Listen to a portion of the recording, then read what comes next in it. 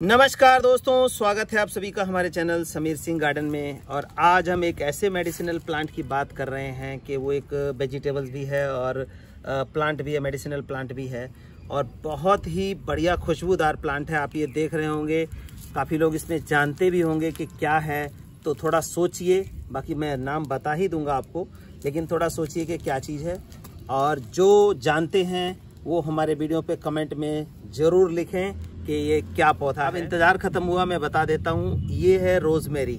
आपने सुना होगा और बहुत बारी आपने ऑनलाइन इसका सीड मंगा के उगाने की कोशिश की है लेकिन 99 परसेंट या 99.99 परसेंट ये सीड्स उगते नहीं हैं क्योंकि मेरे पास काफ़ी लोगों के क्वेश्चन आते हैं। रोजमेरी या लेवेंडर के सीड्स मंगाए थे बट जर्मिनेट नहीं हुए। कई लोग ऐसे हैं कि जो है बुगनबेलिया के सीड्स भी जर्मिनेट करते हैं बट जर्मिनेट नहीं होते।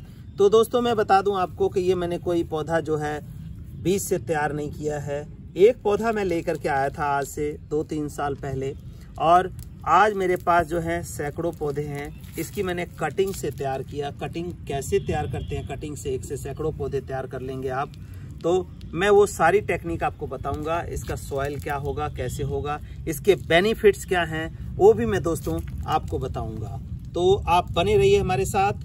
और देखिए कि कैसे ये हमारे एक पौधे से सैकड़ों पौधे हमने बनाए हैं, देखिए गमलों में। ये पूरे पूरे जो है, भरे हुए हैं अभी।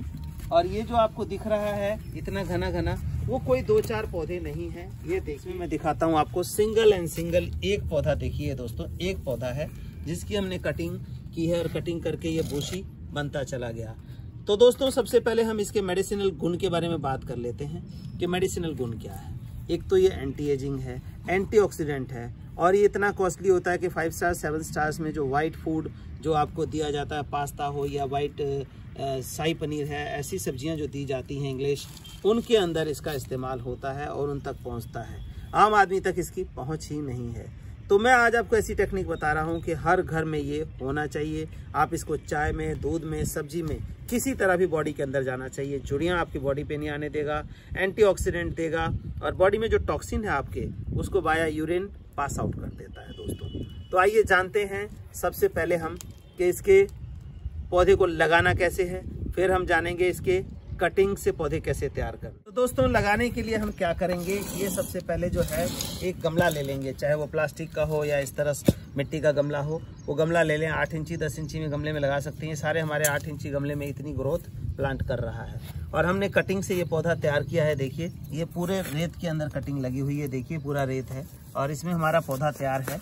तो इस पौधे को उठा के हमें क्या करना है? आज इसमें लगाएँगे। तो ये देखिए इतना रूट जो है इसको हो गया। और इसको दोस्तों मैं बता दूँ तो लगभग लगभग छः महीने हो चुके हैं इस पौधे को लगाए हुए। और कटिंग इसी करके देखिए किस तरह से बोशी हो गया है। तो लगाने के लिए आठ से दस इंची का गमला लिया हमने, आठ इंची का प्लास्टिक का गमला चूज़ किया है। और इसको इतनी ग्रोथ के लिए क्या देना है, ये देखिए। ये जो हमारा वेजिटेबल मिक्स है, खाद होता है, इसके अंदर कैल्शियम आयरन और जितने भी मल्टी माइक्रो न्यूट्रिशन है लीफ कंपोस्ट से बना है ये। तो उसमें सब कुछ मिक्स है और ये एक ही चीज़ किसी भी सब्ज़ी में आप डालेंगे तो बेस्ट रिज़ल्ट आपको देता है। तो इसका हम ये देखिए, गमला हमारा तैयार है, मिट्टी तैयार है, लेकिन हम क्या करेंगे? ये देखिए, हमारे पास ये खुला रखा है।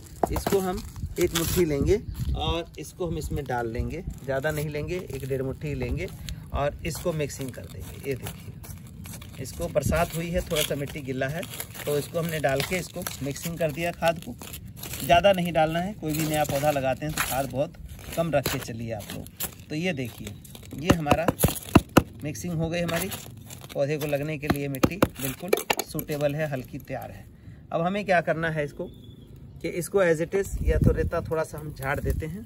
झाड़ दे देखिए, नए रूट जैसे बरसात हुई हैं तो ये नई रूट्स इसमें डेवलप होनी शुरू हो गई हैं। अब हम इसमें इसको जगह बनाएँगे इस तरह से। और ये देखिए, ये हमने इस तरह लगा के और हमें मिट्टी से थोड़ा दबा देना है। ये देखिए, ये हमारा पौधा लग के तैयार है। इसमें थोड़ा सा पानी डालेंगे। पानी डाल करके और इसको दो चार दिन रखें तो छाया में रख लें तो ये पौधा हमारा सरवाइव कर जाएगा और ग्रोथ होनी हो जाएगी शुरू। अब क्या है इसको बोसी बनाने के लिए? क्या करना है हमें बोसी बनाने के साथ साथ हम नए प्लांट्स बनाना भी सीखेंगे। इसको हम एक तरफ़ कर देते हैं। अब ये है कि अगर आपके पास ये पौधा लगा है तो इसको बोसी कैसे बनाएँ और हम क्या कर सकते हैं नए प्लांट्स बनाने के लिए। देखिए एक टहनी काटेंगे यहाँ से तो कई निकल के आएँगे। उसका एग्ज़ाम्पल मैं देता हूँ आपको ये देखिए। ये वाली स्टेम है ये दिखाई दे रहा होगा आपको। आ, मैं दिखा देता हूँ ये देखिए। ये स्टेम हमने काटी थी और इस स्टेम से देखिए कि चार स्टेम निकल के आ गई हैं मतलब चार टहनियाँ निकली हैं। अब हम इसको काटेंगे यहाँ से, ये यह देखिए। यहाँ से काटना है, कम से कम तीन इंची, चार इंची का जो है कटिंग लेनी है इस तरह से। इस तरह हमने कटिंग इसकी ले ली। अब वो ग्रोथ जो है नंबर ऑफ़ ब्रांचेस भी बढ़ेंगी और जो ये कटिंग हमारी निकल रही है, इससे हमारे नए पौधे तैयार हो जाएँगे दोस्तों। और बिल्कुल फ्री में रोजमेरी का पौधा आपके घर में, अपने घर में तैयार हो जाएगा। और आप इसका इस्तेमाल करके सदा सदा के लिए जो है आप यंग बने रहेंगे। आपके झुरिया नहीं पड़ेगी, बिल्कुल एंटीऑक्सीडेंट पूरा रहेगा बॉडी के अंदर। बॉडी जो है चुस्त, दुरुस्त, मस्त रहेंगे आप। तो ये देखिए हमने इतने काटे हैं, ज़्यादा समय आप लोगों का ना लेते हुए इन्हीं का बता देते हैं, बाकी का काम हम बाद में करेंगे। तो देखिए, इस तरह से हमने जैसे इन पौधों की भी कटिंग कर रखी है, ये भी कटिंग की है। तो इसमें से ग्रोथ अब बरसात का टाइम है, बहुत अच्छा आएगा। सर्दियों में थोड़ा स्लो हो जाता है, बचाना पड़ता है। बाकी पूरी गर्मी जो है आपका, बढ़िया रहता है पौधा। तो इस तरह से हमने काटा। अब हमें क्या करना है? इसको पौधे बनाने हैं। पौधे बनाने का तरीका क्या है दोस्तों? ये देखिए। ये देखिए। ये हमने लिया और इसके पत्ते नीचे के जो है हमें निकाल देने हैं। इस तरह से हमें साफ़ कर लेना है। इतना इतना एरिया हमें इसको साफ़ कर दिया हमने। और इससे हम नए प्लांट बढ़िया बना सकते हैं। सिंपल सा तरीका है इसका। जितने पत्ते निकले उतने नोड हैं और हर नोड पे से जो है ये रूटिंग आपकी हो जाती है इस प्लांट की। तो मेरी रोज़ मेरी का जो पौधा है आप बिल्कुल फ्री में अपने घर में तैयार कर सकते हैं। बसत्ते कि आपके पास एक पौधा होना चाहिए या कहीं आस पड़ोस में हो या एक लाते हैं तो उससे सैकड़ों कैसे बनाते हैं फ्री में, ये पूरी जानकारी मैं आपको दे रहा हूँ। और आप इसके साथ बने रहिए वीडियो के साथ। ज़्यादा से ज़्यादा शेयर करिए ताकि और लोगों तक भी जानकारी पहुँच सके। चैनल को सब्सक्राइब करना ना भूलें, क्योंकि ऐसी ऐसी जानकारियाँ हमारी लगातार आती रहती हैं। तो कुछ भी नहीं करना है, ये देखिए। इसके बाद हमें क्या करना है? एक रेत से सैंड से या बालू से भरा हुआ जो कंटेनर है, वो लेना है। मिट्टी में डायरेक्ट ये पौधा नहीं होगा आपका तो बालू मिट्टी लेनी है। कई लोग कहते हैं, सीमेंट और वो चौक पाउडर ऐसा नहीं, ये रेत लेना है, रेत प्योर रेत बालू जो होती है, नदी की रेत, ये लेनी है। और एक लेना है एलोवेरा आपके घर में लगा होगा कहीं ना कहीं, या आस पड़ोस से मिल जाएगा तो ये लेना है। इसको उठाना है और इसके अंदर हम ऐसे डालेंगे, ये देखिए। एलोवेरा जो है, हम डालेंगे, लगा दिया हमने और इसको ऐसे खड़ा कर दिया। सिंपल सा काम है बिल्कुल, और ये एक महीने के अंदर आप देखेंगे कि इसकी जड़ें निकल जाएँगी। लगभग एक से डेढ़ महीने बाद इसको आप कहीं भी शिफ्ट कर सकते हैं। जैसे कि मैंने अभी देखा, डाला है, उसको छः महीने छोड़ दिया था हमने तो इतना बड़ा हो गया। लेकिन ये लगाने लायक एक से डेढ़ महीने में आपका तैयार हो जाता है रूटिंग बढ़िया आ जाती है दोस्तों। और आपका पौधा बिल्कुल तैयार फ्री में मिल जाएगा। तो देखिए, कुछ नहीं करना है। अब आप पूछते होंगे, सोचते होंगे कि एलोवेरा जेल ही क्यों? एलोवेरा जेल नहीं तो रूट हार्मोन होता है बट रूट हार्मोन सभी को मिलता नहीं है। एलोवेरा जेल क्या है कि नेचुरल पौधा नेचुरल है? और नेचुरल ये क्या करता है हमारे प्लांट को फंगस से बचाता है? वो तो एक बात हुई। दूसरा, रूट हार्मोन का काम करता है, जल्दी रूट निकल आता है इसमें।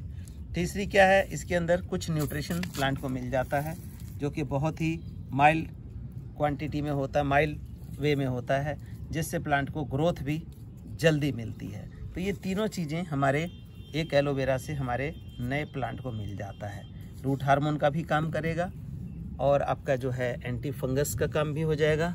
उसके लिए भी केमिकल आपको नहीं लगाना है और न्यूट्रिशन भी दे देगा। तो इस तरह से हमारे देखिए, मिनटों में हमने जो है 20-30 पौधे कटिंग की और लगा दिया। और ये दोस्तों, यकीन मानिए, अब जुलाई में लगाते हैं तो अगस्त सितंबर में पौधे लगाने लायक हो जाएँगे और ये बेस्ट टाइम है आपका पौधे का। क्योंकि आगे गर्मियों में लगाएँगे तो नहीं होगा आपका। सर्दियों में लगाएँगे तभी दिक्कत रहेगी। बट ये बेस्ट टाइम है। इस टाइम एटमोसफेयर के अंदर मॉइस्चर काफ़ी मात्रा में है, जो कि हमारे पौधों में एयर रूट का जो निकलने का प्रोसेस है, वो बहुत तेज़ी से कर देता है। तो यहाँ तो मॉइस्चर मिलता रहेगा। तो नेचुरल सी बात है आपका जो, ये पौधा है एक महीने के अंदर रूट दे जाएगा। और फिर आप जितना मर्ज़ी घर में लगाएँ, उसके रोज़ सब्ज़ी में इस्तेमाल करें, चाय में इस्तेमाल करें, दूध में इस्तेमाल करें। अब ये जो हमने निकाला है दोस्तों, ये भी हमारा बेकार नहीं है। इसको हम धो करके अपने चाय में बच्चों को दे सकते हैं, या दूध में बॉईल करके दे सकते हैं, या सिर्फ़ पानी में बॉईल करके ले सकते हैं। एंटीऑक्सीडेंट बॉडी को मिलेगा। या किसी आपका जो वाइट फ़ूड घर में बनाते हैं, कोई भी सब्ज़ी बनाते हैं तो उसमें भी डाल करके बहुत ही उम्दा खुशबू इसमें से आती है दोस्तों। तो धन्यवाद दोस्तों बने रहने के लिए।